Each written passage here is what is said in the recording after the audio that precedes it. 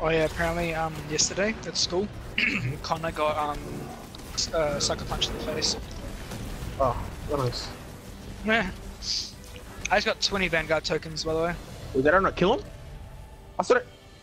Wait, I think so, but apparently